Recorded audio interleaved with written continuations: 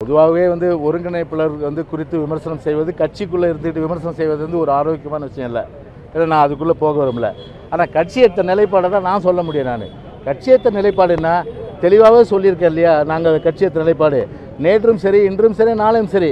திரும்ப சசிகலாவோ அவரை சார்ந்தவர்களுக்கோ அனைத்து இந்திய அண்ணா திராவிட முன்னேற்ற கழகத்தில் எந்த காலத்திலும் இடமில்லை. அவரோடு தொடர்பு வைத்துக் கொள்பவர்களால் நீக்கப்படுவார். ஒற்றை தலைமை வேண்டும் சார். அஇஅதிமுகவுக்கு ஒற்றை தலைமை வேண்டும். திருமதி வி. கே. சசிகலா இணைந்து செயல்பட வேண்டும். ஒன்று அவங்க பாவம் எலெக்ஷன்லேயும் கண்டெஸ்ட் பண்ண முடியாது சார். கொஸ்டன் மார்க்காக இருக்குது ஏன் அவங்களோட சேர்ந்து போகிறதுல இவருக்கு என்ன பிரச்சனை? என்ன பங்கு பெரியல? நான் அதான் கேட்குறேன் மிஸ்டர் ஜெயக்குமாரை.